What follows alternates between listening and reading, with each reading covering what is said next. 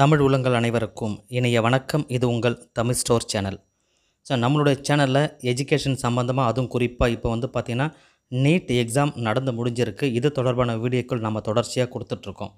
So நிறைய மாணவர்கள் நிறைய சந்தேகங்களை கேட்டுட்ருக்காங்க கமெண்ட் செக்ஷனில் ஸோ மாணவர்களுக்கு நான் சொல்கிறது அதுதான். முடிஞ்ச அளவுக்கு எல்லாருக்குமே என்னால் வந்து கமெண்ட்டில் வந்து ஆன்சர் சொல்ல முடியல. அதனால தான் நான் வந்து நீங்கள் வந்து ஜாயின் பட்டனில் ஜாயின் பண்ணி யாராவது ஜாயின் பண்ணியிருந்தீங்கன்னா உங்களுக்கு தேவையான அனைத்து வகையான ஹெல்ப்புமே வந்து கண்டிப்பாக உங்களுக்கு கிடைக்கும். ஸோ நான் வந்து நிறைய பேர் கமெண்ட் பண்ணி உங்களுக்கு நான் ஆன்சர் பண்ணாமல் இருந்தீங்கன்னா you can join join button மெம்பர்ஷிப்பில் join பண்ணீங்க அப்படின்னு சொன்னால் உங்களுக்கு தேவையான தகவலை அது மூலிமா நான் நிறையவே சொல்லிகிட்ருப்பேன் ஸோ இந்த வீடியோ ரொம்ப ரொம்ப முக்கியமான வீடியோ. இது கூட வந்து பார்த்திங்கன்னா கமெண்ட் செக்ஷனில் நிறைய பேர் கேட்டிருந்தாங்க.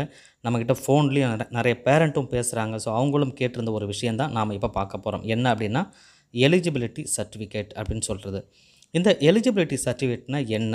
இது யா யார் யாரெல்லாம் வந்து எலிஜிபிலிட்டி சர்டிஃபிகேட் வாங்கணும்? ரெண்டாவது எந்தெந்த கோர்ஸில் எடுத்தால் இந்த எலிஜிபிள் சர்டிஃபிகேட்லாம் தேவை அப்படின்ற விவரங்களை தெளிவாக நாம் இந்த வீடியோவில் பார்க்கலாம். ஸோ முக்கியமாக ஸ்கிப் பண்ணாதீங்க. இந்த வீடியோவில் ரொம்ப முக்கியமான விஷயங்களை பற்றி இந்த எலிஜிபிள் சர்டிஃபிகேட் பற்றி நான் முழு டீட்டெயில் நம்ம ஃபுல்லாக உங்களுக்கு சொல்ல போகிறேன் அதனால் ஃபுல் எக்ஸ்ப்ளனேஷன் இதில் இருக்கிறதுனால நீங்கள் ஸ்கிப் பண்ணிங்கன்னா உங்களுக்கு புரியாமல் போகிறதுக்கு வாய்ப்புகள் உண்டு. ஸ்கிப் பண்ணாமல் நீங்கள் பாருங்கள் ஃபஸ்ட்டு எலிஜிபிலிட்டி சர்டிஃபிகேட் அப்படின்றது வந்து பார்த்திங்கன்னா எந்தெந்த கோர்ஸ் படிக்கணும் அப்படின்னு நினைக்கிறவங்களுக்கு தேவை அப்படின்னு பார்த்தீங்கன்னா ஒன்று எம்பிபிஎஸ் அல்லது பிடிஎஸ் ஆயுஷ் கோர்சஸ் அதாவது சித்தா ஆயுர்வேதா யுனானி ஹோமியோபதி இதெல்லாம் படிக்கிறாங்க இல்லையா? ஸோ அவங்களுக்கும் கூடவே நர்சிங் பண்ணாலும் சரி ஃபார்மசி ஃபிசியோதெரப்பி ஆக்குபேஷனல் தெரப்பி இது இல்லாமல் அலைடு ஹெல்த் சயின்ஸ்.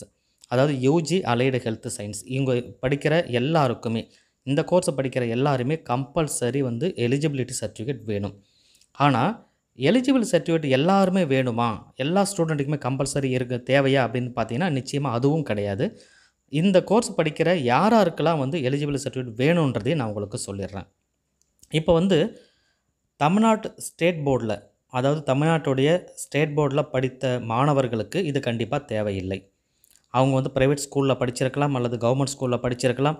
எதில் வேணால் படிச்சிருக்கலாம். ஆனால் தமிழ்நாட்டுடைய ஸ்டேட் போர்ட் சிலபஸை எடுத்து படிச்சிருந்தாங்கன்னா அவங்க கண்டிப்பாக இந்த எலிஜிபிலிட்டி சர்டிஃபிகேட் என்பது தேவை இல்லை அது ஞாபகம் வச்சுங்க சரி அப்போ யாருக்கு இது வேணும் அப்படின்னு பார்த்தீங்கன்னா சிபிஎஸ்சி படிச்சிருக்கணும்.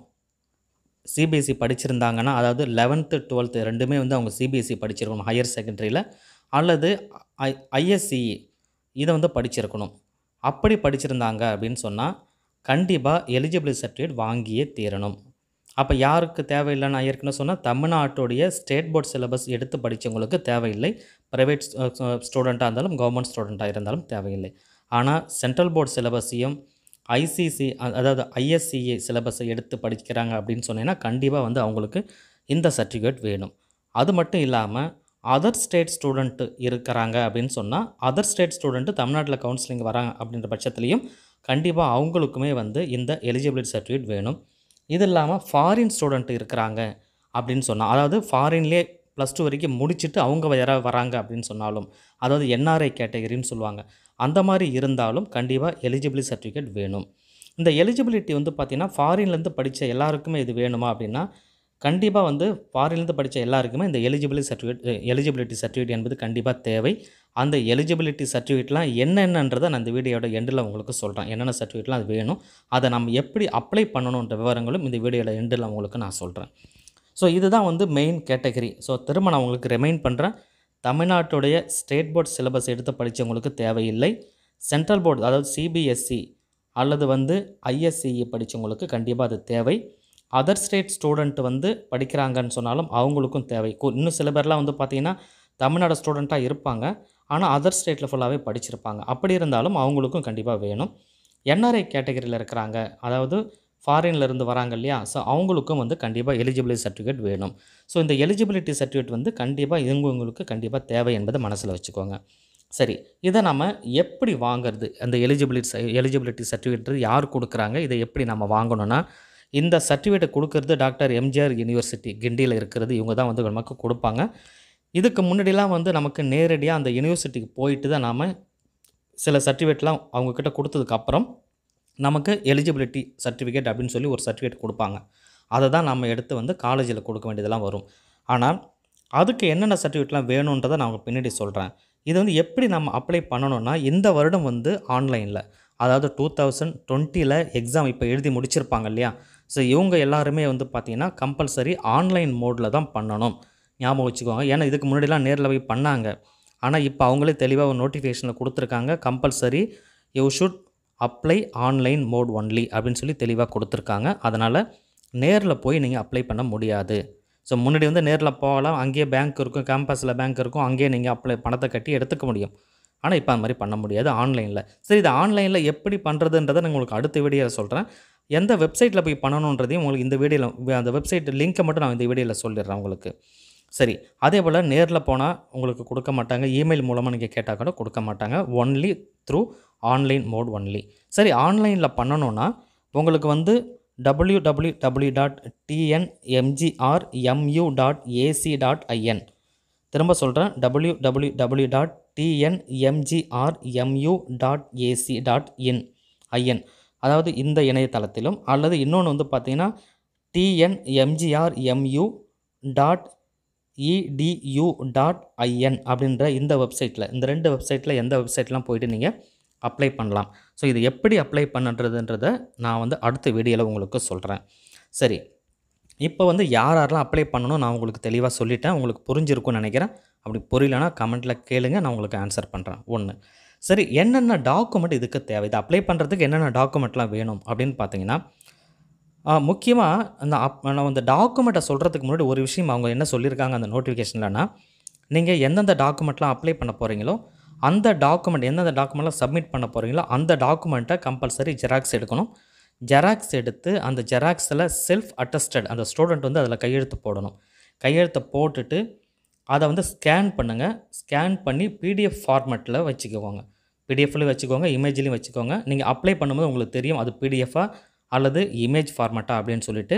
உங்களுக்கு வந்து லெஸ் தென் ஃபிஃப்டி கேபிக்குள்ளே இருக்கணும். அந்த நீங்கள் ஸ்கேன் பண்ண காப்பி இருக்கு இல்லையா? அதனோட சைஸ் வந்து லெஸ் தென் ஃபிஃப்டி கேபி இருக்கணும். ஸோ அந்த மாதிரி தயாராக வச்சுருங்க. அது எந்தெந்த டாக்குமெண்ட்டை நம்ம தயாராக வச்சுருக்கணும் அப்படின்னு பார்த்தீங்கன்னா உங்களோட ப்ளஸ் டூ மார்க் ஷீட் அதாவது ஹையர் செகண்டரி மார்க் ஷீட் அதுக்கப்புறம் வந்து proof of date of birth அது எது வேணால் இருக்கலாம். ஒன்று பர்த் சர்டிஃபிகேட் இருக்கலாம் அல்லது டிசி இருக்கலாம் அல்லது வந்து டென்த்து மார்க் ஷீட் இருக்கலாம் ஆதார் கார்டு இருக்கலாம். ஆதார் கார்டெலாம் பெரும்பாலும் வந்து சில பேருக்குலாம் இயர்லாம் இருக்காது. மேக்ஸிமம் அதை எடுக்காதீங்க. எனக்கு தெரிஞ்சு டிசி அல்லது டென்த்தோட மார்க் ஷீட் இருந்தால் ரொம்ப உங்களுடைய பெஸ்ட்டு ஏன்னா ஏஜ் ப்ரூஃப்காக அது. அது கண்டிப்பாக எடுத்துக்கோங்க. ஏதாவது ஒன்று இருந்தால் போதும். எதுவுமே தேவையில்லை. அதாவது நீங்கள் எதுவுமே யோசிக்க வேண்டாம். ஏஜ் ப்ரூஃபுக்குன்னு டென்த்து மார்க் ஷீட் எடுத்தீங்கன்னா போதும். பெஸ்ட் அது. அடுத்தது வந்து மைக்ரேஷன் சர்டிஃபிகேட் இந்த மைக்ரேஷன் நீங்கள் ஸ்கூலில் முடிச்சுட்டு வெளியே வரீங்க இல்லையா? உங்களுக்கு டிசிலாம் கொடுக்கும்போது கண்டிப்பாக அங்கேயே ஒரு சின்னதாக சர்டிஃபிகேட் கொடுத்துருவாங்க மைக்ரேஷன் சர்டிஃபிகேட்னு சொல்லிட்டு அதை நீங்கள் வாங்கி வச்சுக்கோங்க. அதுக்கப்புறம் நீட் எக்ஸாம்லாம் எழுதி முடிச்சி முடிச்சிங்கன்னா முடிச்சதுக்கப்புறம் கண்டிப்பாக நமக்கு ஸ்கோர் கார்டு கையில் இருக்கும். ரிசல்ட் வந்ததுக்கப்புறம் ஸ்கோர் கார்டு கையில் இருக்கும். அந்த ஸ்கோர் கார்டு கண்டிப்பாக கையில் வச்சுருக்கணும். ரெண்டாவது கம்யூனிட்டி சர்டிஃபிகேட் அதுக்கப்புறம் வந்து முக்கியமானது கம்யூனிட்டி சர்டிஃபிகேட் ஸோ இந்த சர்டிஃபிகேட்ஸ் எல்லாமே கம்பல்சரி ஜெராக்ஸ் எடுத்து அதில் செல்ஃப் அட்டஸ்டட் பண்ணி அதை ஸ்கேன் பண்ணி நீங்கள் அப்லோட் பண்ணணும் ஆன்லைனில் அது வந்து ஒரு ஒரு டாக்குமெண்ட்டும் லெஸ் தென் ஃபிஃப்டி கேபிக்குள்ளே இருக்கணும். அந்த மாதிரி த தயார் பண்ணி வச்சுக்கிட்டு நான் சொன்ன வெப்சைட்டில் போயிட்டு நீங்கள் ஆன்லைன் மோடில் மட்டும்தான் அப்ளை பண்ணணும். அப்படி அப்ளை பண்ணும்பொழுது அமௌண்ட்டு கட்ட வேண்டியது இருக்கும். அந்த அமௌண்ட்டு எவ்வளோ அப்படின்னா எம்பிபிஎஸ் பிடிஎஸ் இதெல்லாம் படிக்கிறீங்க அப்படின்னு சொன்னால் ஆயிரத்தி நானூறு ரூபாயும் ப்ளஸ் ஜிஎஸ்டி ஒரு இரநூத்தம்பத்தி ரெண்டு ரூபா சேர்த்து ஆயிரத்தி அறநூற்றி ஐம்பத்தி இரண்டு ரூபாய். இது வந்து ஆன்லைனில் நீங்கள் கட்டலாம். ஆன்லைன் மோடில் தான் கட்ட முடியும். அதுவும் எல்லா பேமெண்ட் இருக்குது உங்களுக்கு வந்து யூபிஐ மோடு இருக்குது அது இல்லாமல் நெட் பேங்கிங் இருக்குது அப்புறம் கிரெடிட் கார்டு டெபிட் கார்டு எதில் வேணால் நீங்கள் கட்டிக்கலாம். ஸோ இதுதான் வந்து முக்கியமான விஷயம். வெப்சைட்டும் உங்களுக்கு நான் சொல்லிட்டேன். அதனால் இந்த எலிஜிபிலிட்டி சர்டிஃபிகேட் அப்படின்னு சொல்கிறது இதுதான் ஸோ யாராருக்கு அப்ளை பண்ணணும்? எப்படி அப்ளை பண்ணணும்? என்னென்ன டாக்குமெண்ட்லாம் இதுக்கு தேவைப்படுதுன்ட்டு டீட்டெயிலாக உங்களுக்கு நான் சொல்லியிருக்கேன். நிச்சயமாக இந்த வீடியோ உங்களுக்கு ரொம்ப யூஸ்ஃபுல்லாக இருக்கும்னு சொல்லி நான் நினைக்கிறேன். அப்படி யூஸ்ஃபுல்லாக இருந்துன்னு சொன்னால் மறக்காமல் நீங்கள் இந்த வீடியோக்கு லைக் கொடுங்க. உங்கள் ஃப்ரெண்ட்ஸ் எல்லாருக்கும் இந்த வீடியோவை ஷேர் பண்ணுங்கள் இது வரைக்கும் நீங்கள் சப்ஸ்கிரைப் பண்ணாமல் இருக்கிறீங்கன்னா இது போல் எஜுகேஷன் சம்மந்தப்பட்ட தொடர்ச்சியான வீடியோக்கள் வர்றதுக்காக நீங்கள் இந்த வீடியோவை நம்ம சேனலையும் சப்ஸ்கிரைப் பண்ணிக்கோங்க. தேங்க்யூ ஃபார் வாட்சிங் அடுத்த வீடியோவில் நான் உங்களுக்கு சொல்கிறேன் எப்படி இந்த எலிஜிபிலிட்டி சர்டிஃபிகேட்டை அப்லோட் பண்ணுறது அப்படின்னு சொல்லி நான் உங்களுக்கு அடுத்த வீடியோவில் சொல்கிறேன் தேங்க்யூ ஃபார் வாட்சிங்